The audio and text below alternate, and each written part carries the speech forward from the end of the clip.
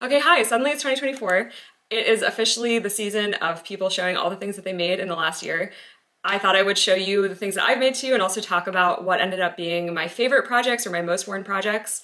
I actually did a video showing everything that I knit up until I think May. So I'll link that here if you want to like see more details about any of those knits. So this one I'm just going to go through all the things I've made since then and then also share with you what are the projects I ended up actually wearing the most because sometimes when you're making something you don't know if you got it right. You don't know if this will actually be something that you reach for. I'm personally trying to knit and design for my own wardrobe, so that metric is important to me. It might not be important to you, but I think it's fun to look back, kind of take stock of the things that I made, the creativity that I expressed, and then also be able to sort of like in hindsight say, why do I think I did or didn't reach for things? It helps inform whatever I'm gonna make next. I'm gonna go in chronological order, picking up where I left off in my previous video. Let's go into the knit. So first tank off my needles after the last video I posted was this tank that I guess in my head I called the Odette tank. I made it as kind of in a theme. I was feeling very inspired by Swan Lake this past year, so I had a lot of like black and white knits and a lot of ribbon details like you can see on the straps here. Beauty blogger here. There you go. There's like a little ribbon corset detail along each strap um, and that's with little yarn over holes along the length of the strap. So I knit this one with Cascade Anchor Bay yarn, which is a blend of cotton and superwash wool. Um, the construction for this one was I cast on at a provisional cast on along the bust, and then I knit the straps up because I thought that would be a little bit easier to like shape this um, square neckline. I also, maybe this is like a technique issue for me, but I find casting off to be a little bit neater and more like structurally stable than when I cast on a lot of stitches along a neckline. So that was another reason that I wanted to do it that way. Um, and then the reason that I didn't do it fully bottom up is I like to adjust the length as I go. I wasn't sure what shaping I wanted to use and I wanted to like know faster if like the top part of the tank was cute before I knit all the way down. I had a little snafu with this one because I used a red yarn to uh, do the provisional cast on because it's like nice to have a contrasty yarn but I've never had done one like that with um, a white yarn before and little red fibers from the provisional cast on made this like pink line all the way across the bust so that was a little bit annoying. I had to do a little bit of like surgery to pick up the stitches above the provisional cast on and then cut off the final you know, a couple yards that were all pink tinged. Um, so let that be a lesson learned, I guess. Um, I added like an I-cord edge along the straps um, just to kind of like stabilize the stockinette from curling a little bit more. And I added some shaping along the underarms, just like some simple decreasing down to the waist and then a little bit of increasing at the hips. And then I finished it with a folded hem. So I didn't wear this top at all this year. And I know why. So there were, there are a couple issues. One is I ended up deciding I don't love this yarn for a summer top. It is cotton blend, but it's, um, I think this is like a DK weight yarn, but it just felt a little bit too heavy for me for a summer top. But the main problem with it was that I had too much negative ease. So it's comfortable to wear, it's not too tight, but I think it just looks a little bit too stretched for me. Um, and ease, if you're not like familiar with that knitting term yet, it's the difference between the measurements of the top off of your body and your actual body. So something with positive ease is bigger than your body, so it's like a baggy sweater, for instance. And something with negative ease means that it actually has to stretch to fit your body, which makes it very form-fitting. This one had too much negative ease, and I'm trying to remember why that is. I think that, first of all, I just didn't know as much about negative ease then as I do now. I think I've just learned so much more about what I like and what looks good and what feels comfortable and what's like too much stretch. I'm way better at deciding things from my gauge swatch than I was before. I thought that this yarn would stretch more than it did when I was blocking it because um, superwash tends to stretch when it gets wet and so can cotton yarns. So I think I expected this to loosen up more than it did. So it ended up quite a bit tighter than I thought it would. I feel like at this point of the year, I was doing kind of like trial and error still with my gauge um, rather than like, I don't know, really manhandling my swatch, taking the gauge before and after uh, blocking, for instance. I just feel like I'm a lot more um, deliberate about the things I do now. So this one, unfortunately, was kind of a loss for me. I also feel like the way that I did these straps, I, I look at it now and I do think that it's pretty cute. But at the time I wasn't fully happy with it. I think because I had originally envisioned this top having like a space between the straps where you could really see the ribbon crisscross. And then I decided that wouldn't be very bra friendly. Um, and then I originally tried wearing this with like a more contrasting ribbon and it felt like too much to me. But I think that this white on cream is actually pretty and kind of delicate. So I'm back to liking it and I like the silhouette of the top to be honest. Like I like, I love a square neckline with thick straps. Um, so yeah, I don't know. All in all, I have mixed feelings about this top. Like I wish I did it in a lighter weight yarn so that it just felt a little drapier and like better for summer. And I wish I used less ease. Like ribbing is a different story because ribbing just stretches so much. But for stockinette, um, it is stretchy, but like you're really pulling against it. And if you stretch it too much, um, the stitches just start to like kind of pull apart. And I just don't think that looks as good. So those are my lessons learned from this one. And I'm gonna rank this one as didn't wear it. That sucks. so the next thing that I made, I never even wove the ends in on this because I knew as soon as I cast it off that I wasn't happy with it. this is a tube top that I knit flat in one piece. This is using Sea Change fiber yarn in uh, sport weight. It's a silk wool blend and it's in the colorway Odile, which is actually the name of the black swan, whereas Odette was the name of the white swan. So that just felt like a sign that I should go for it. And then I got this ribbon um, from the same yarn shop, Brooklyn General, and I think it's really pretty. It's like kind of a little, almost like a little eyelet got them to go together and I, I knit this flat in one panel, um, just going back and forth. And then the side seam is just open and I wove the ribbon through to tie it up. I added a folded hem on the top and the bottom and I'm not really happy with the folded hem on the bottom. Um, I've changed the way that I do folded hems on the bottom now. I used to cast off on the row that I was folding the hem on and I find that that tends to flip up a lot. Like you can see here, this just does not want to stay down. So now I tend to just cast off and seam my folded hems up and I find that works a lot better, but I hadn't tried that yet and I was like very averse to seaming at the time. I also added some short row bust darts because um, this is like a tube top basically, so the distance that it has to go along the front is gonna be longer than down your straight back. And then also I find with tube tops, you just like naturally kind of want to wear it angled like this which means that you would also want more length in the front anyway because you're kind of wearing it at that angle. So I decided um, after adding horizontal or short row bust darts to my Thine Own top and experimenting with that and being really happy, and that's also like a tube top, I thought that they would work perfectly for this one. Um, and they do. I am happy with the way that that works. I didn't quite space them out wide enough. I was like kind of struggling with the ease on this one too. Um, and then I also added some short rows just along the very front here because I wanted this to like kind of like angle down farther. So there would be sort of like a cut across and like a little bit of asymmetry. So honestly, I still think that this is a really cute idea. So the big problem with this one was that I messed up the negative ease. So I did this one kind of like neutral ease. Uh, for some reason, I literally just forgot to think about the fact that it's a tube top and it does, it's not gonna have straps, you like want something to kind of hold it up. So basically it just ended up feeling quite a bit looser than I wanted it to. The reason that I like didn't notice this as it was happening was that I, I cast this one on on a train ride. Normally I like try things on a lot as I go, but because of that particular circumstance, I didn't end up getting the chance to do it as much. So I honestly think that this is a very cute idea. I still love the little ribbon side detail. I still love the asymmetry of how it cuts in the front. I still love this yarn. To be honest, it's not the most practical item that you might wear. Like a tube top that's in a knit wool fabric is sort of like, I guess you'd only really wear that out in the fall or winter maybe with a layer on top. Um, so it's not like the most wearable piece anyway. So that was another reason that I kind of like let it go. I felt like for both of these, because I was feeling very inspired by Swan Lake, it felt like I had a creative vision, I guess, I wanted to execute and having this little like mini collection.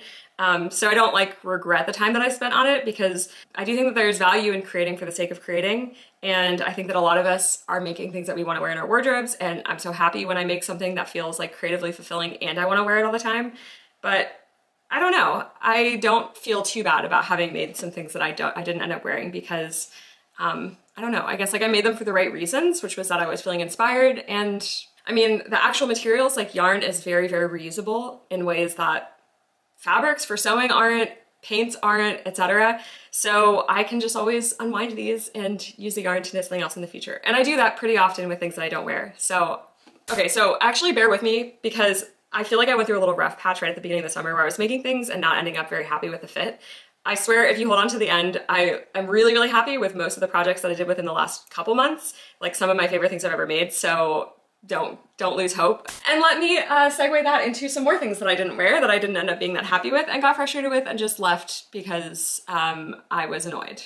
And I also think that's okay, by the way. I have no problem with like putting down a project that is leaving me frustrated and trusting that if that creative spark is still there, if this is a thing that I want in my wardrobe or a thing that I like really feel the itch to create, that I will eventually come back to it. I don't know, I don't think that you should like have too much guilt in your hobby, basically. So this one is a little set that I made. Um, I actually made two versions of the top because I wasn't happy with the first one, but I'm not happy with the second one either. This top is made with a little bit of Cascade Anchor Bay, that's the white part, and then this blue part is uh, Drops Cotton Merino, which is 50-50 cotton and merino blend. Um, I had a lot of this Drops Cotton Merino just in my stash. I bought a bunch of it because I was thinking about making some other project that didn't work out. And so I just had like a huge amount left over. So I was kind of looking for reasons to knit from my stash.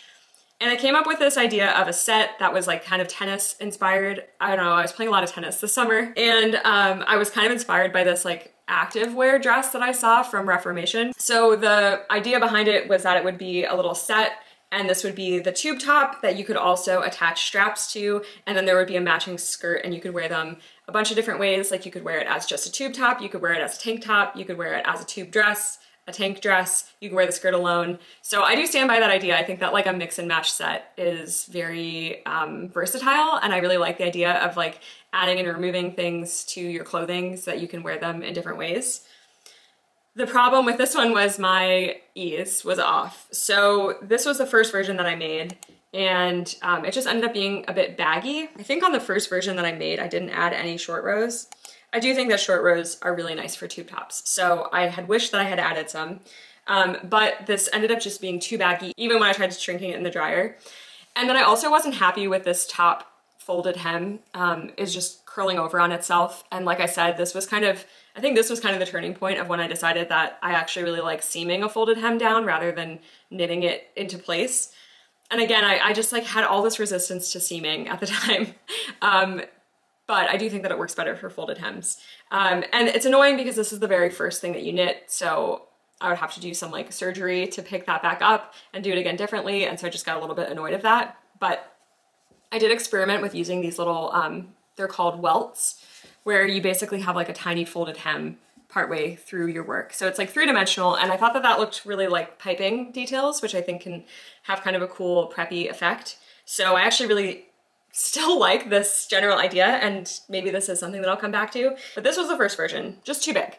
But I had so much yarn that I was like, rather than unraveling this because that frustrates me right now, why don't I just cast on a new one? Then I made a second one. I fixed the way that I closed this top welt and I seamed it down with whip stitch afterwards instead of closing it as I worked it, which you can see on this one, which leaves more of a fold over and it like shows blue at the top versus this one.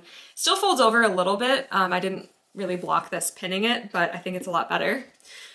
But I made other problem, I made other issues on this one. So um, I also added bust darts, but for some reason I calculated it wrong and I brought the bust darts too far into the center and I didn't notice it when I was trying it on as I was working on it. And it's also just too cropped for me. It's like an inch or two more cropped than I wanted. And um, again, I like made this too tight. I had too much negative ease and I don't like how much it has to stretch. I just don't think it makes the welts, like the little piping detail look as pretty because when you really stretch it out, you just see too much space between the stitches. So I wasn't happy with that. and that's a bummer. I do think that this is still a cute concept and I like this sort of like sporty, retro, vintage athletic look. So maybe this is something that I'll revisit this spring. At the same time, I was working on this skirt. Um, and again, I have kind of mixed feelings about this skirt. So I did finish it in that I, I seamed things, I wove in the ends, and I added an elastic to the top of this waistband. Um, I really like that effect. It looks uh, just like a folded hem, but you have a thick elastic waistband in there and that helps like give you enough stretch to get over your hips, but like keeps it snug at your waist. However, um, I wish that I had started the increases more towards the top and had this look more like an A-line. Um, I evenly spaced the increases, but I feel like it doesn't quite look that way. And me personally, I feel like I wish I had a little bit more volume on this skirt at the top. So I kind of regret that. Um, I added the same little welts at the bottom hem. I would pin those straight to make them look a little bit more distinct. Um, but I do think that the set idea is still really cute together. I made the executive decision to just abandon this entire set for the time being. I just felt so annoyed with it.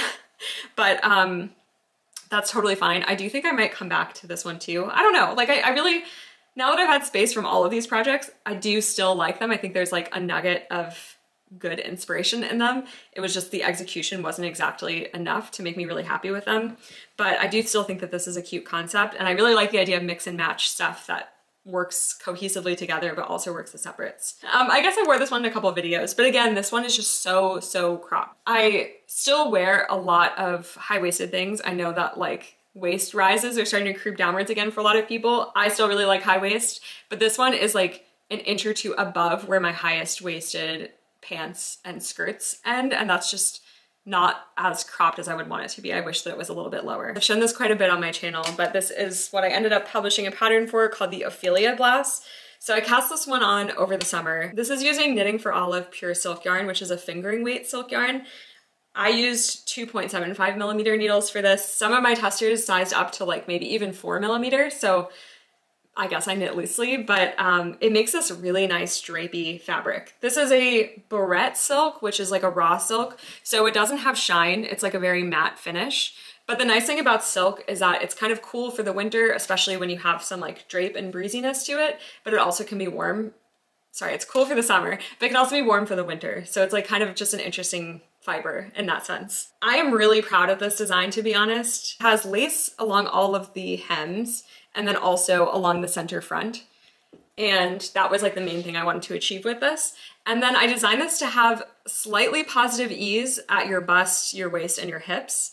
Um, a little bit more positive ease at your waist and hips. But because this fabric is so lightweight and because silk is so drapey, that I feel like it still gives you like a very figure hugging silhouette, but it doesn't have that like stick to the skin kind of thing that like I wasn't happy with with some of these earlier ones where I was using a lot of negative ease and like a stretchier fiber. And I used um, like vertical darts for the shaping on this one. You can kind of see this like line here almost of where the increases and decreases happen.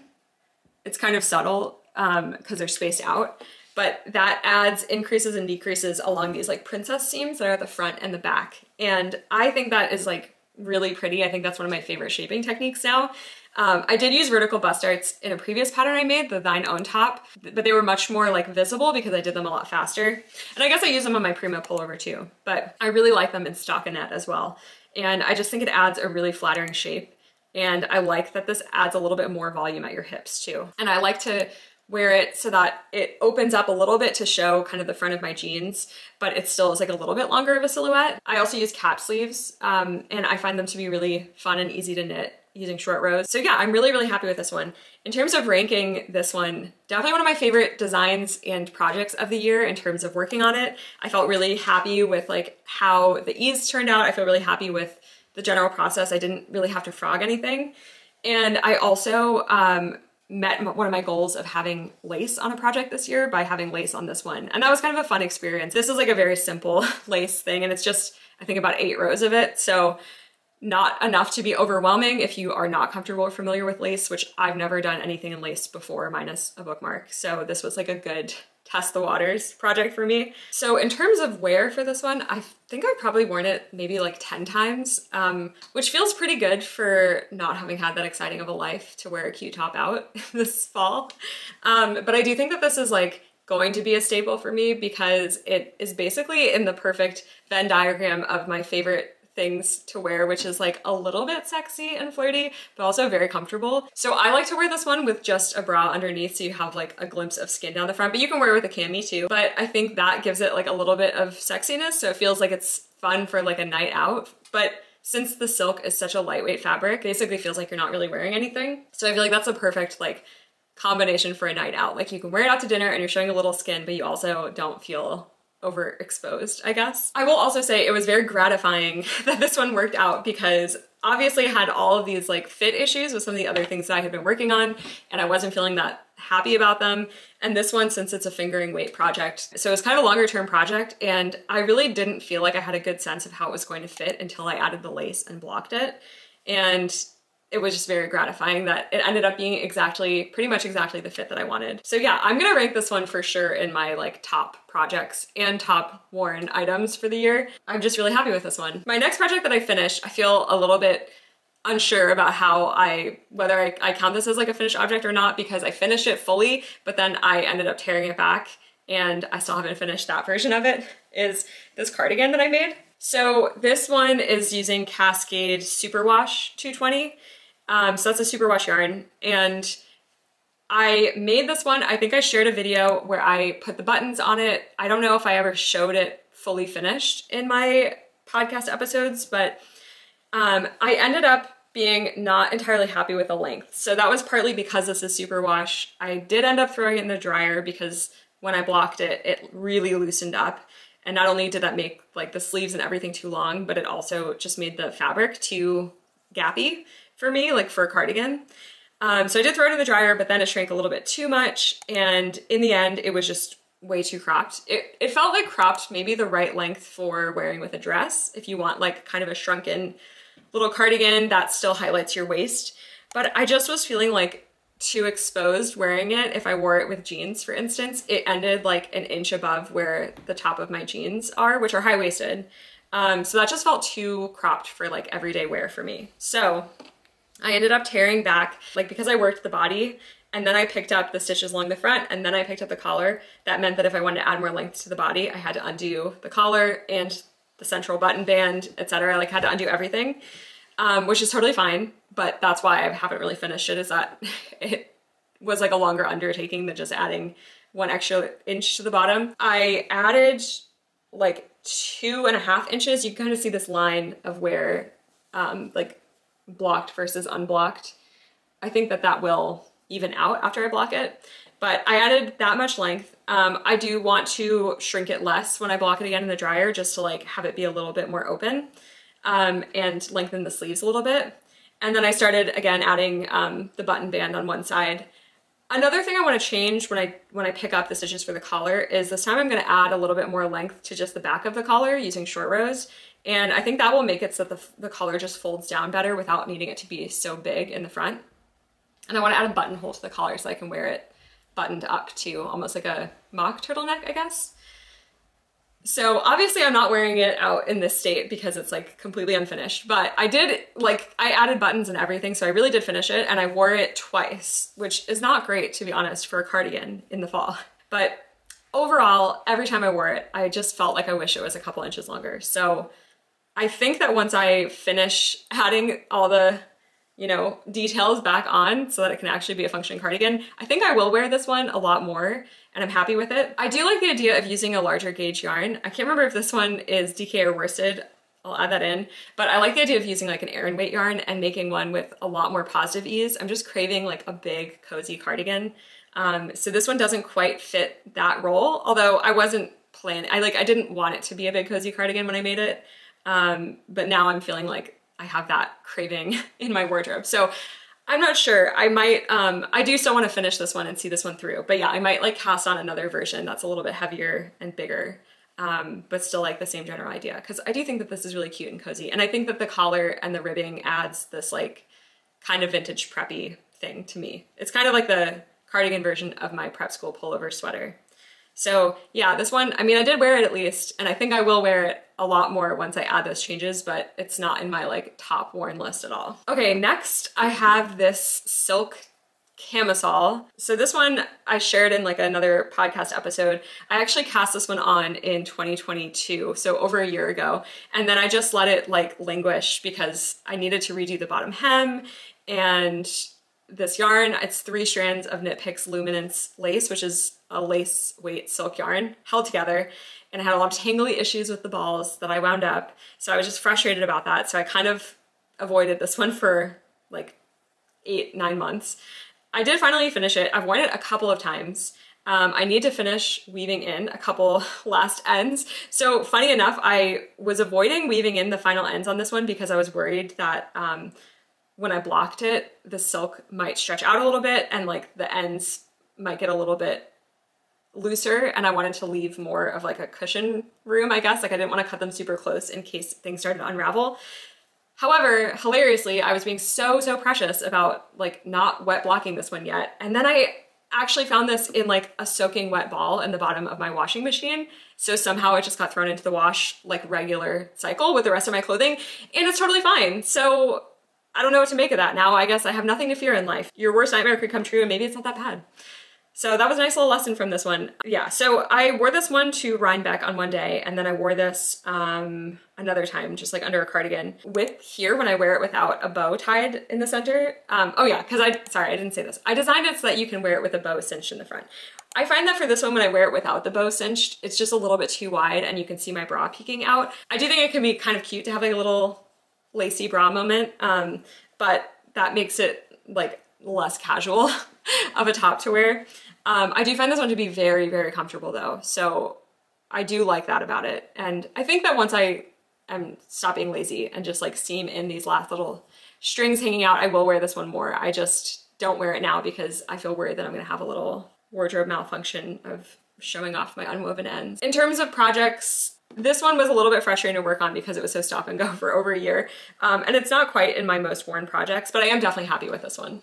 So next up, I have my tarot card sweater. So I cast the first version of this one on actually at the very end of June over the summer solstice. That one was using a different yarn. I used some of two superwash yarns. That one, the superwash nature of the yarn like stretched everything out of proportion. And so I redid it. Um, I asked Cascade if they would be willing to send me some yarn to sponsor this design and they kindly said yes. This is the Cascade Sport 220. It's on a US 5 needle, which is I think 3.75 millimeters. And um, I mean, I'm really happy with this one. This one is like one of the most meaningful projects I feel like I've worked on for knitting. I feel like this one has the most like symbolic meaning to it. The star card represents like hope, renewal, inspiration, light at the end of darkness. And I was having kind of a hard time this year and I feel like this project was like a really nice reset both creatively and like emotionally. This was just a vision that I had in my head that I felt really strongly about and so that was like very fulfilling to actually see that through. I drew this chart by hand in Stitch Fiddle. Um, that's kind of like my interpretation of the star card. And I was really happy with that. I really liked that experience. Like I like expressing myself creatively in different ways. And I feel like, I feel like before knitting, that wasn't a huge part of my life. And I'm really glad to have like refound that. And so it was fun to explore a little bit of like illustration-y stuff with that. Um, and then also just the act of making it in terms of like emotionally, I felt like it was a really positive thing to be like focused on in terms of like viewing this as a turning point and like I would have this bright future filled with like creative fulfillment and inspiration and opportunity and hope.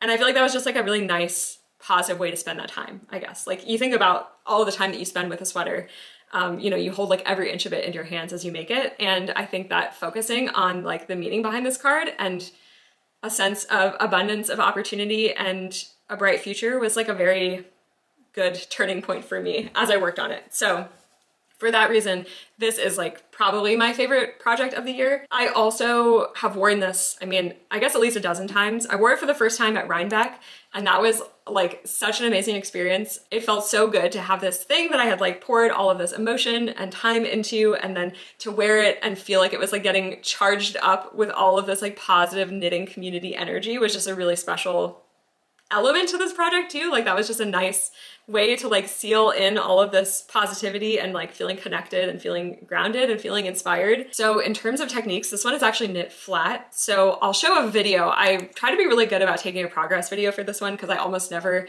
do that because I'm always just like, no, I want to keep knitting.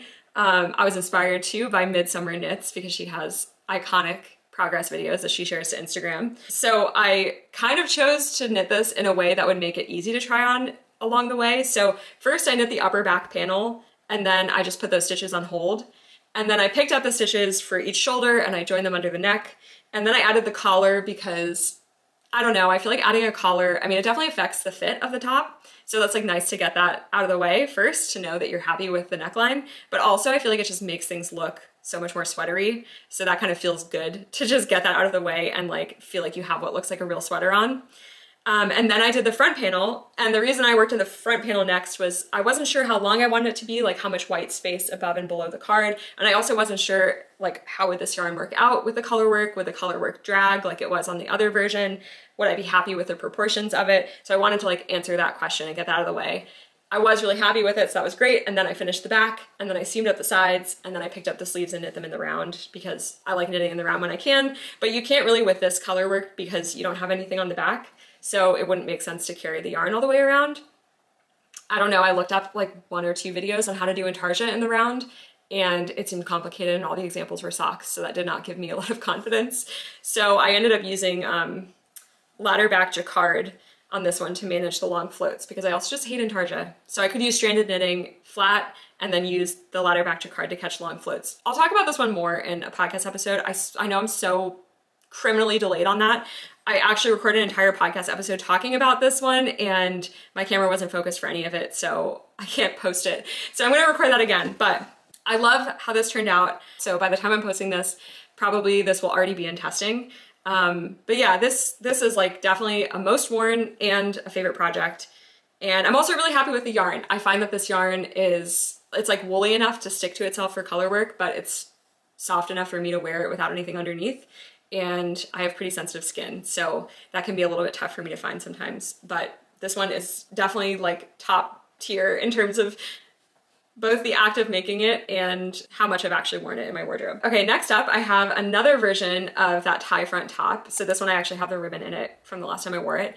This one is using a sock yarn that I had, I just got in like a big stash from a friend this year, and I don't really like to knit socks. It's from this dyer called Fall for November. It seems like she's retired from dyeing, but you can probably find this type of yarn base from other indie dyers, and it's 80% superwash merino, 10% nylon, 10% cashmere. So it has this really like lush, squishy feel to it. Um, I knit this one the same way that I did with the silk one. So um, the top panel is like knit flat lengthwise, I guess, like this. And then you pick up stitches and knit the body in the round. And I'm really happy with this one. Um, I did add a slight like curved front hem to it. It has a folded hem. Um, full disclosure, I actually did make these straps on my knitting machine instead of by hand because I don't know, my machine was set up anyway and this yarn is like a small enough gauge that I can do it on the knitting machine. So it's kind of nice to just do that instead of have to like knit flat or do an I-cord by hand.